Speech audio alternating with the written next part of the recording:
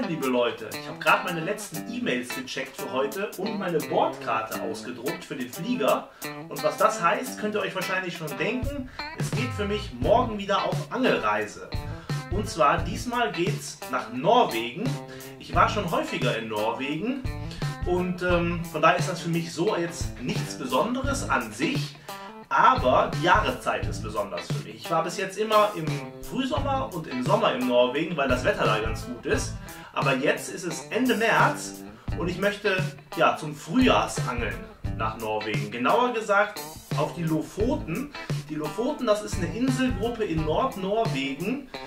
Ja, von der Höhe gesehen etwas nördlich noch ähm, von Island, also schon ziemlich weit im Norden. Und äh, das ist ein exzellentes Dorschrevier. Ich war da schon mal vor zwei Jahren im Sommer. Da gibt es auch ein Video zu im Big Fish Media Channel hier bei YouTube. Könnt ihr euch ja mal angucken, einfach ein bisschen weiter runter scrollen. Da kommt dann ähm, unser Sommerangel-Video auf den Lofoten. Und der Betreiber der Ferienanlage dort, der Hans Arne, der hat gesagt, im Frühjahr, da kannst du hier richtig tolles Dorschangeln erleben. Dann komm doch nochmal im Frühjahr rum. Und jetzt habe ich es endlich geschafft. Morgen geht es dann los auf die Lofoten. Im Frühjahr ist es natürlich vom Angeln her gut, aber vom Wetter her ziemlich kritisch. Denn, äh, ja, könnt ihr euch wahrscheinlich denken, so weit im Norden und so früh im Jahr, da kann es leicht mal ähm, ja, Sturm geben, Wind geben, Regen, Schnee. Da kann man dann schon Pech haben, ähm, dass man ja, eine Woche in der Hütte sitzt, zumal es ähm, ja, im Frühjahr auch noch relativ kalt sein kann. Wobei man einschränkend sagen muss, dass es auf den Lofoten nicht ganz so kalt wird, obwohl die so weit im Norden liegen. Und zwar liegt das daran, dass da der Golfstrom vorbeigeht, der warmes Wasser nach Europa bringt. Und deshalb ist der Fischreichtum da auch so groß. Und ähm, ja, jetzt muss ich mal gucken. Wettervorhersage checken mache ich eigentlich immer, wenn ich irgendwo hinfliege. Und das mache ich jetzt auch diesmal. Und gerade für Norwegen-Fahrer kann ich folgende Seite, Wetterseite empfehlen. Das ist eine norwegische. Da könnt ihr wahrscheinlich nicht alles lesen, was da steht, obwohl es das glaube ich auch auf Englisch gibt. Kann man dann umstellen auf Englisch. Ähm, aber die sind sehr genau und ich weiß, dass es auch die Norweger und dann teilweise auch die Berufsfischer benutzen. Und zwar heißt die Seite www.yr.no. Also ganz einfach www.yr.no, das kann sich jeder merken. Das gebe ich jetzt mal ein. NO. So, und jetzt wähle ich die Stadt, naja, Städte gibt es auf den Lofoten in unserem Sinne nicht. Ähm, Moskenes heißt der Ort, wo die Fähre dann anlandet. Und das ist auch nicht so weit weg von unserer ähm, Unterkunft in Sund. Und da gucke ich jetzt mal nach dem Wetter. Und da sehe ich, ja, das sieht eigentlich ganz gut aus. Also 0 Grad, 1 Grad, minus 1 Grad, 0 Grad. Also es ist recht, recht gut und das hat mir der Hans Arne auch gesagt, dass es eigentlich kaum friert bei denen. Die haben immer so 0, 1 Grad durch den warmen Golfstrom. Es ist relativ mild auch im Winter. Also die haben nicht diese Minusgrade im Winter. Und jetzt gucke ich mal nach Niederschlag. Kaum vorher gesagt, das ist perfekt fürs Filmen, wenn es nicht regnet. Das freut mich. Und jetzt Thema Wind. Natürlich auch immer so eine Sache. Ähm, Wind, ja, aber das sieht auch ganz gut aus. Also da kann man eigentlich nicht motzen relativ wenig Wind. Und deshalb hoffe ich, dass wir dann ganz gut rauskommen. Hier sehe ich gerade mal so 3 bis 5 Meter pro Sekunde. Und ja, für die Tage. Das sieht ganz gut aus. Also ich denke, da können wir fahren. Vielleicht habe ich ja endlich mal Glück mit dem Wetter. Sonst habe ich ja na, eher so durchwachsenes Glück mit dem Wetter. Aber diesmal sieht es ganz gut aus, obwohl man sagen muss, dass das äh, ja, in Norwegen vielleicht ein, zwei Tage gelten kann, was man hier sehen kann. Also das kann sich innerhalb von kürzester Zeit dann wieder ändern und dann kann es schlechter oder besser sein. Aber es sieht schon mal, schon mal ganz gut aus. Ähm, begleitet werde ich diesmal bei der Tour von, von dem Philipp. Das ist mein Grafiker, mit dem mal so ganz toll mein Karpfenmagazin äh, ja, layoutet. Und der ist auch ein hervorragender Angler. Und der hat gesagt, ich will auch mal auf die Lofoten. Und dann habe ich gesagt, komm mit. Und äh, jetzt ist er dabei. Der kommt dann morgen, beziehungsweise heute Abend kommt er schon. Und dann fliegen wir morgen früh dann auf die Lofoten. Und äh, dann gucken wir mal, dass da was Schönes vor die Kamera kommt. Ich mache jetzt hier noch ganz kurz weiter, mache den Rechner dann aus und dann sehen wir uns dann morgen am Flughafen. Bis dann!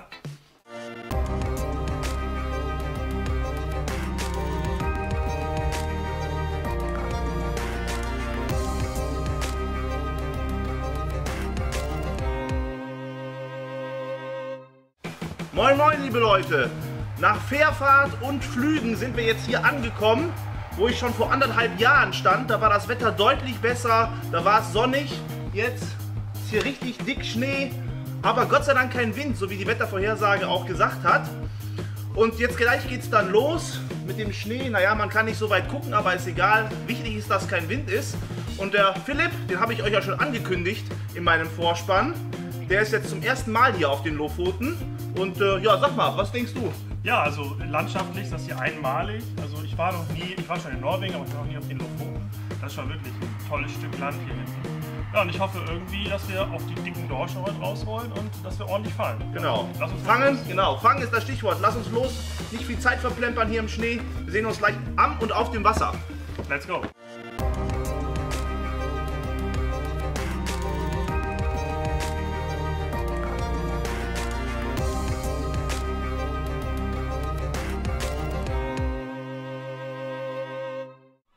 Jetzt haben wir das hier das Zeug zum Boot getragen vom Hans Arne. Den kennt ihr schon von unserem Sommerfilm hier auf den Lofoten. Der Hans Arne hat gesagt, Fisch ist da. Und äh, ja, jetzt denke ich, fahren wir los, fahren wir raus zu den Fischen. Der Schnee ist auch ein bisschen weniger geworden. Das stimmt mich ganz positiv. Und deshalb jetzt raus aus Wasser. Come on, let's go. Komm mal.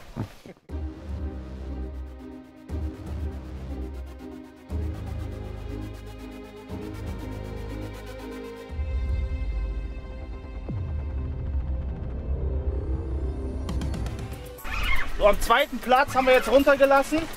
Wir fischen hier sehr schwer und ich habe den ersten dran. Und das, man sieht, die Route ist schon gut krumm. Bin mal gespannt. Am ersten Platz hatten wir jetzt gar nichts. Und hier ist jetzt richtig Fisch zu sehen auf dem Echolot. Und dann war es auch richtig, gleich das... Ah, jetzt ist Gingers. Ich hoffe, der ist nicht gerissen von außen oder so. Weil so fühlt sich fast an.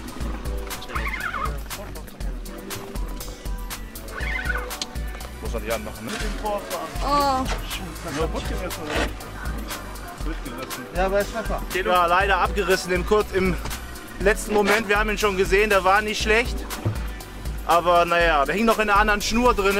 Vielleicht lag es daran, dass er sich so ein bisschen aufgeraut hat. Ja, so ist es halt. Aber wir haben schon einen drauf und wir machen jetzt weiter. So, wir sind jetzt in die zweite Stelle gefahren, nachdem Gregor sich seine eben abgerissen hat. Das ist bei mir in der Route auch geknallt. Und wir fischen hier in 60 Metern Tiefe. Und äh, die Fische können hier mal gut 20 Kilo haben. Das ist Arbeit, hier hochzukommen. Wollen wir mal schauen, was das ist. Sehe auf jeden Fall schon.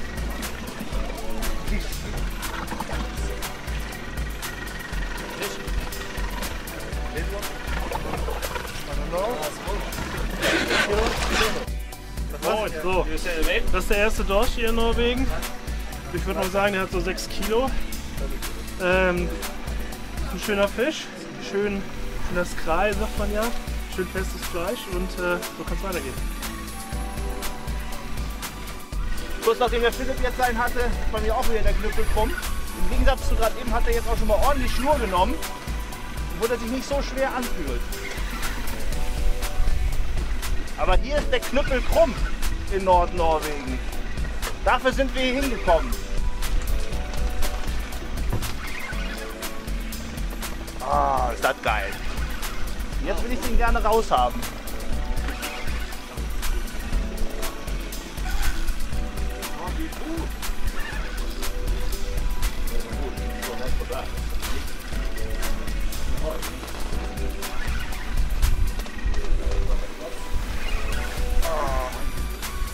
Sind wir dann Jetzt.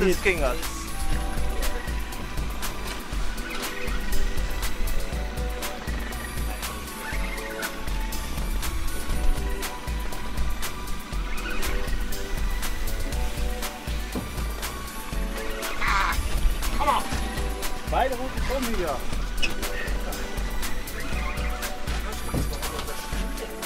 Das ist Angeln auf den Lofoten hier. Ah.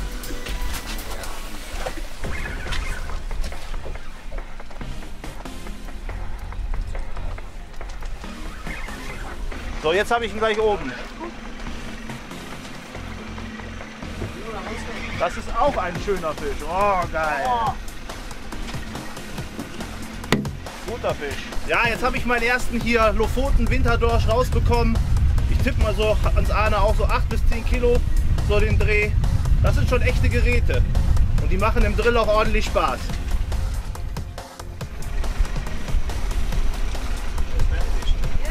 Viel Fisch hier ist. So, jetzt habe ich einen dicken Dorsch hier nachgelegt. Ich schätze mal, der hat so, oh, ich würde knapp, knappe 9 Kilo, würde ich sagen. Ähm, wir müssen jetzt ziemlich schwer fischen. Ich hatte vorher 650 Gramm auf meiner Route. Jetzt haben wir gewechselt auf 750. Und äh, das ist schon richtig Arbeit, aber es macht auch richtig Spaß. Man fängt nämlich richtig große Fische. Flut hat gerade den Höchststand erreicht und jetzt habe ich einfach mal gewechselt den, vom Pilker auf äh, Gummifisch mit einem schweren Kopf. Und ähm, das hat auch ganz gut geklappt. Und ähm, ja, so kann es weitergehen. Jetzt ist wieder mehr Strömung. Deshalb können wir nicht mehr mit Gummifisch angeln, sondern müssen wieder die 750 Gramm Pilker dranhängen. Aber der Knüppel ist wieder krumm. Und zwar richtig. Euch das an, so eine krumme Route hier.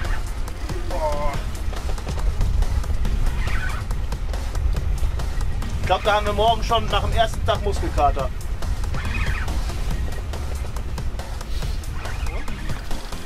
Knapp über Grund gehakt.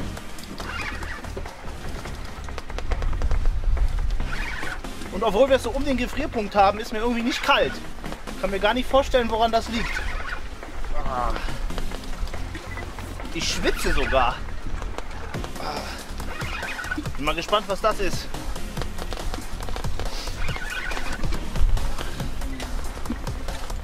Doppeldrill jetzt hier. Ich drill meinen schon ein bisschen länger und der Philipp, da ist jetzt auch gerade ein Einschlag. Ah, beide Routen so richtig krumm. Aber meiner ist jetzt gleich bereit für die Landung. Das ist das Ergebnis unseres Doppeldrills. Das kann sich durchaus sehen lassen, Das oder? stimmt allerdings, das stimmt allerdings. Ich würde sagen, die haben beide so um die knappe 10 Kilo. Also Ja, das sind gute Fische hier. Perfekt. So kann es echt weitergehen. Da kann man auf der Ostsee nur von träumen hier. Geil. Absolut geil. Hat jetzt nochmal richtig schön in der Route gerade reingehauen. Wir sind jetzt fast auf 100 Meter Tiefe. Wieder mit den dicken Pilkern. Und das ist definitiv der schwerste Fisch. Meiner zumindest heute. Bin gespannt, was da gleich hochkommt. Das dauert jetzt natürlich ein bisschen aus 100 Meter. Gucken wir gleich noch.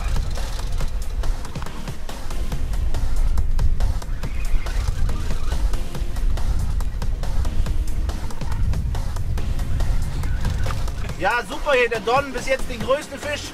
Und das schon am ersten Tag hier, was schon eine Granate, bestimmt 30 Pfund. Und Hans Ahn hat uns mal wieder sicher zum Fisch hier geführt. Super, ja. Super geil. Und der Schnee wird wieder stärker, aber scheißegal. Wir machen weiter. Ah, das ist anstrengend. Das ist ja schon fast kein Urlaub mehr.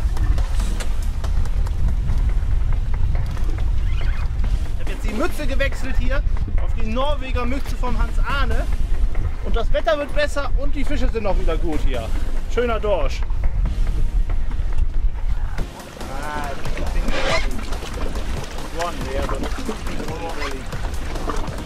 Haben wir ihn gleich am Boot. Jetzt kommt er hoch, das ist auch kein schlechter. Ja, ist gut. Ja, das ist jetzt schon so, ich weiß nicht, der 25. 30. Fisch so in der Klasse. Ist ja unglaublich, was man hier so erlebt. Boah. Heute Abend tun mir alles weh.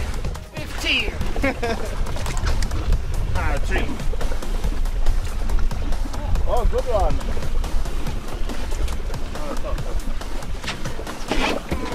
Fish again. Yeah. Well done. Oh, nice one. They eat now. They, they're eating now. Show it in the camera.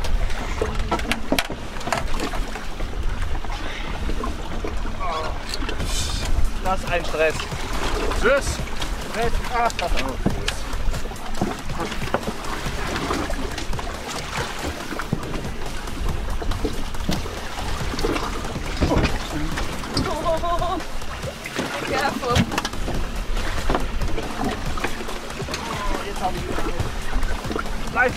HD. See here.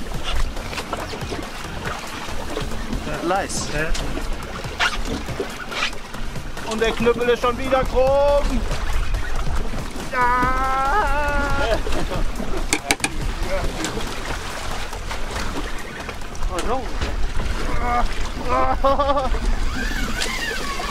Okej, nu går den ut igen. Große. Und vielleicht drei. Ja, vielleicht habe ich auch zwei.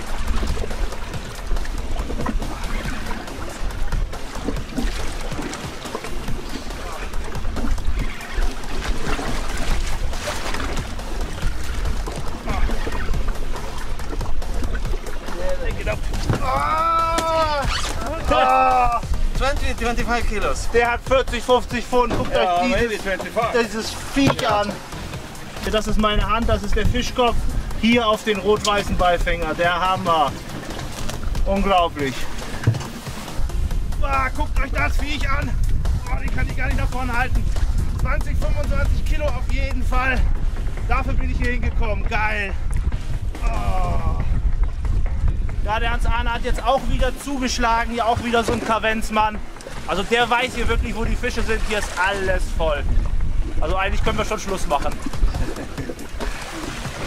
Finish.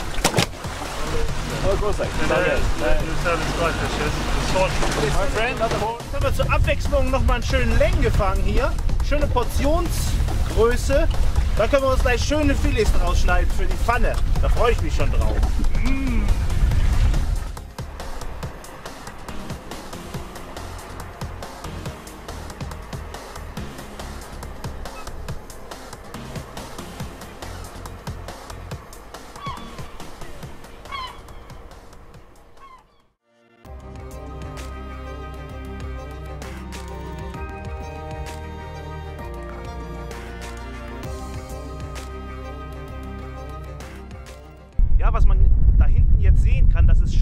Stockfisch.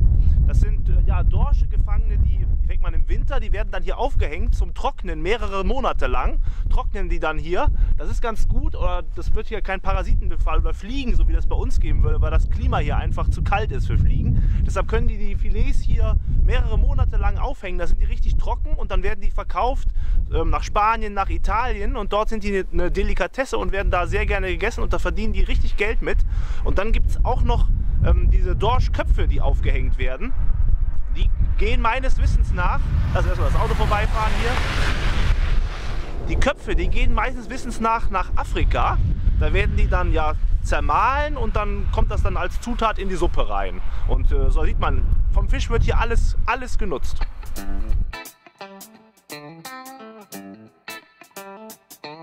Paar Worte zur Ausrüstung und zum Tackle, was wir hier brauchen. Es ist ja jetzt Frühjahr, wie ihr gesehen habt. Es liegt noch ordentlich Schnee. Es ist kalt. Also Temperaturen hier so hatten wir zwischen minus 2 und plus 2 Grad. Da ist es wichtig, dass man gut angezogen ist, dass man warm angezogen ist, sonst macht das Angeln keinen Spaß. Erstes wichtiges Ausrüstungsteil, was man dabei haben sollte, hier ist ein guter Floater.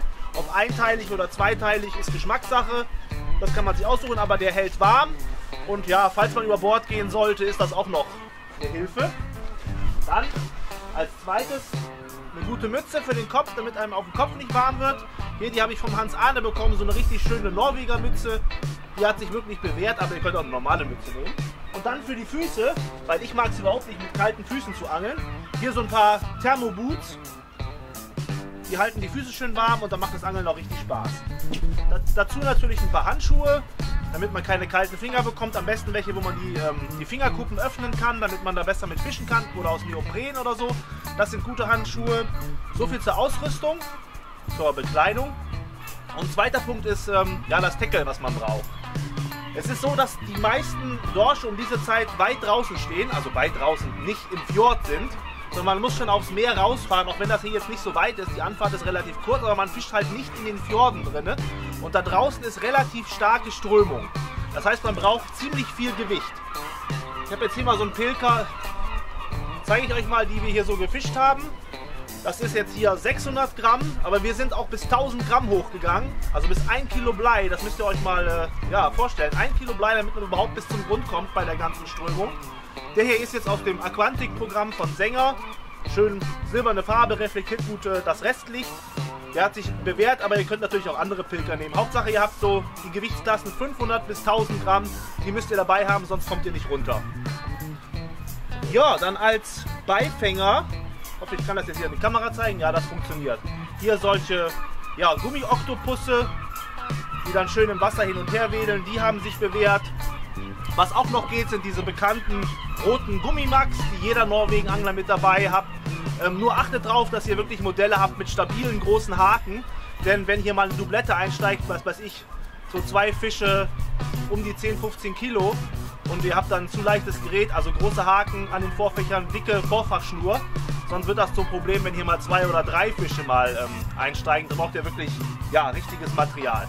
Zur Route, wir haben schwere Pilgrouten gefischt hier mit einer Stationärrolle oder Multirolle, wer es mag. Ich fische lieber mit Stationärrolle.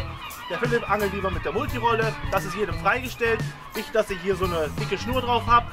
Ich denke mal eine 25 oder 30er geflochtene, damit macht ihr nichts verkehrt. Damit bekommt ihr auch einen großen Fisch raus.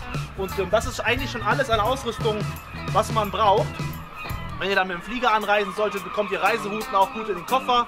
Würde vielleicht noch einen Zusatzkoffer anmelden für Pilker hinzunehmen, weil 10 Pilker A 750 Gramm, die wiegen ja schon ein bisschen was. Da könnt ihr noch ein bisschen Ausrüstung reinpacken. Aber wie gesagt, so viel Ausrüstung braucht ihr hier nicht für das große, ja, für das Angeln auf die großen Dorsch. Das ist relativ unkompliziert, wenn man rauskommt. Zweiter Tag hier, heute auf den Lofoten. Nachdem wir ja gestern eigentlich schon alles gefangen haben, was wir uns vorgenommen hatten, ist das heute eigentlich nur noch ja, Bonusprogramm und auch in den nächsten Tagen. Aber wir wollen uns natürlich nicht nehmen lassen, heute rauszufahren. Der Philipp ist ja auch noch ganz heiß. Vielleicht fängt er ja auch noch einen richtig großen. Ich wünsche es ihm auf jeden Fall. Ich hoffe es. Ja, aber wollen wir doch mal sehen heute. Und Wetter heute perfekt. Etwas mehr Wind soll sein, aber dafür ist es schön sonnig, zumindest noch. Und deshalb starten wir jetzt schnell raus aufs Meer und gucken, was an Haken geht. Bis später. Auf geht's.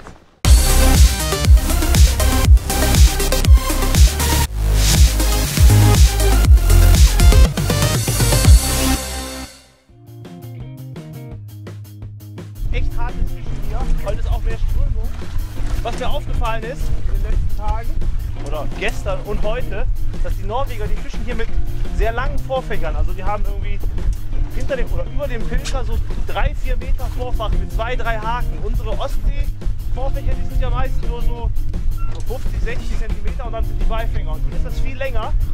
Begründung dafür ist, dass sie dann unterschiedliche Wasserschichten abfischen können. Das ist schon eine, eine einleuchtende Sache. Jetzt versuche ich den erstmal hier hochzukriegen.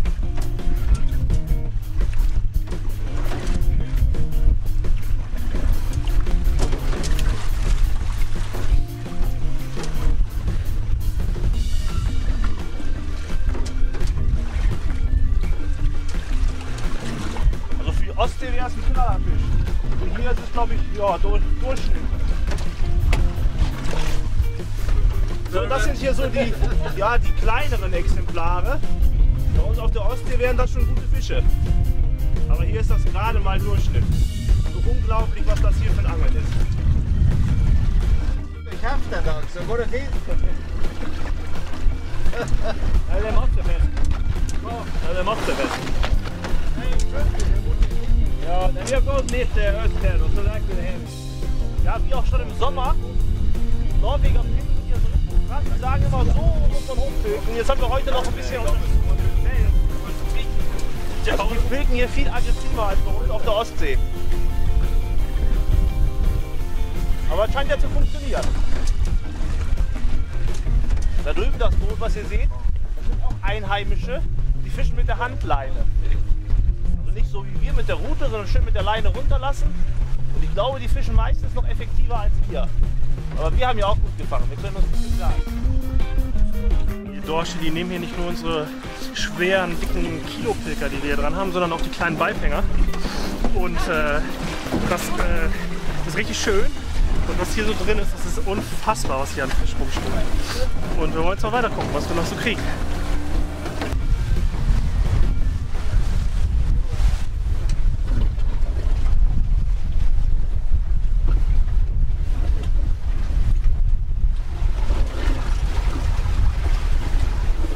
Philipp sagt, er hat jetzt einen großen dran. Aber das glaube ich nicht. Der ist bestimmt nur von außen gehakt. Wir werden sehen.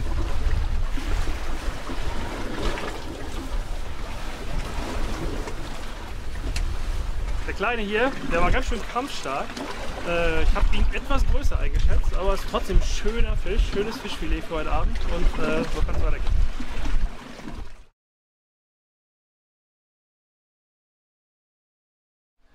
Ja, unsere Woche auf den Lofoten ist jetzt hier vorbei. Wir haben unglaublich geiles Dorschangeln erlebt. Sowas habe ich noch nie gehabt. Mit so vielen großen Fischen oder Philipp, unglaublich, oder? Also wir haben, das war die spektakulärste Angelwoche, die ich je erlebt habe. Wir haben Fische gefangen, die waren zwischen 10 und 25 Kilo. Wir mussten nicht so weit rausfahren. Ähm, es war wirklich eine wunderschöne Woche, die wir hier verbracht haben. Ja, echt gigantisch. Diese, die, diese Fischgrößen, also habe ich noch nirgendwo erlebt. So ein großes Durchschnittsgewicht. Das ist einzigartig hier. Man darf halt aber auch nicht vergessen, es ist jetzt, es ist jetzt Frühjahr. Wir kommen gerade aus dem Winter. Frühjahr ist doch vom Wetter anders als, als Sommer. Also im Sommer kann man hier auch relativ sicher sein. Klar muss man immer mal mit Ausfalltagen rechnen. Aber das Wetter ist jetzt relativ unsicher. Wir hatten sehr viel Glück.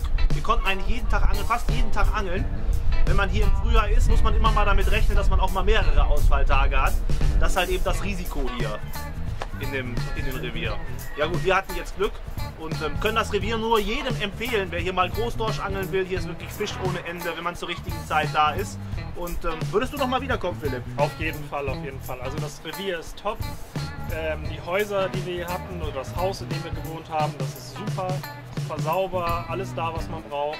Ähm, die Boote waren, wir sind jetzt mit dem Boot von Hans Arne, der hat ein großes Boot rausgefahren, aber ähm, zu den Häusern gibt es hier auch äh, kleinere Boote. Da sind wir auch einen Tag mit rausgefahren, die sind von der Ausstattung top, funktionieren alle wunderbar. Alle gut Reicht, ausgerüstet, reicht Echolot. vollkommen aus, genau, die Ausrüstung ist vollkommen in Ordnung, ausreichend dafür. Und äh, ich würde auf jeden Fall wieder herkommen, würde ich jedem empfehlen. Vielleicht schon wieder im nächsten Jahr. Vielleicht im nächsten Jahr, wer weiß. Und wer das Ganze mal selber erleben will, ob im, äh, ob im Frühjahr, im späten Frühjahr oder dann im Sommer auch, wenn das Wetter ein bisschen stabiler ist, der guckt nach auf der Seite von Borgs Ferienhäusern www.borgs.de. Da gibt es diese ganze Destination hier, die mehr, mehrere Wohnungen mit, ähm, mit Boot. Und ähm, der kann sich da informieren über Preise, Saisonzeiten etc. und kann das dann auch direkt bei Borgs buchen. Und in dem Sinne sagen wir, bis zum nächsten Mal, macht's gut, ciao, ciao. Ciao.